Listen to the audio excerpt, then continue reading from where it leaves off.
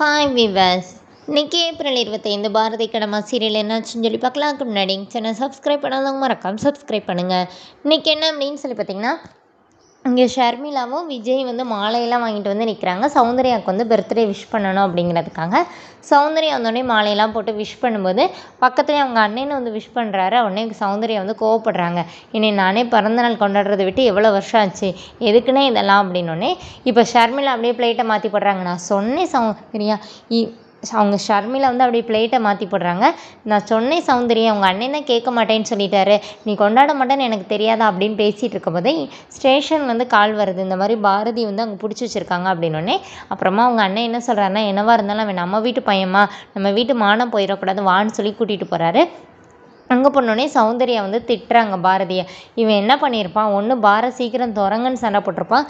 இல்லை இவன் குடிச்சிட்டே இருக்கணும்னு சொல்லிட்டு அதை பூட்டாதீங்கன்னு சண்டை போட்டிருப்பான். வேறு என்ன செய்வான்? அப்படி செஞ்சுருப்பான் அப்படின்னோடனே அந்த இன்ஸ்பெக்டர் சொல்கிறாரு நீங்கள் சொன்ன எதுவுமே அவர் செய்யவே இல்லை.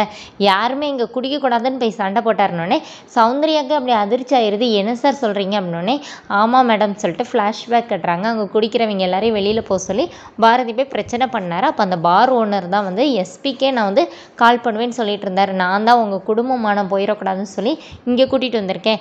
அந்த பாருக்கும் அங்கே அடிப்பட்டவங்களுக்கு மட்டும் எதனாச்சும் பண்ணி விடுங்க அப்படின்னோடனே அவங்க மாமா என்ன சொல்கிறாருன்னா அதை நாங்கள் பார்த்துக்குறோம் சொல்லிட்டு பாரதியை வெளியில் கூப்பிட்டு வந்துடுறாங்க. இப்போ வந்தோடனே சௌந்தர்யா சொல்கிறாங்க என் பிறந்த நாள் அன்னைக்குமே என்னை எங்கே கொண்டு விட்டுருக்குன்னு பார்த்தியா அப்படின்னோடனே பாரதி என்ன சொல்கிறாருன்னா அப்பாவோட வீடியோ அந்த மாதிரி அந்த ஆடியோவெல்லாம் கேட்டு நான் குடிக்கிறதே விட்டுட்டேம்மா இனிமேல் நான் குடிக்க மாட்டேன். அப்படின்னோடனே சௌந்தர்யா நீ சொல்கிறத வேற எங்கேயாவது போய் சொல்லுன்னு சொல்லி கிண்டலாக பேசிட்டு காரில் ஏறி கிளம்பிடுறாங்க. இதில் விஜய் வந்து உனக்கு எதுக்குடா இந்த வேலையெல்லாம்? உனக்கு குடியை நிப்பாட்ட முடியுமாடா? அப்படின்னு சொல்லி அட்வைஸ் பண்ணோடனே பாரதி சொல்கிறார் எதனாச்சும் சொல்லிடுவேன் மரியாதையாக போயிடணுன்னே இப்போ விஜயும் போயிடுறாரு. தண்டபாணி என்ன நினைக்கிறாருன்னா இவன்லாம் பேசுகிற அளவுக்கு ஆயிடுச்சு பார்த்தியாடா நம்மளோட நிலமை? அப்படின்னு சொல்லி அதோடு என்னோட எபிசோட் ரன் பண்ணியிருக்காங்க. தேங்க்யூ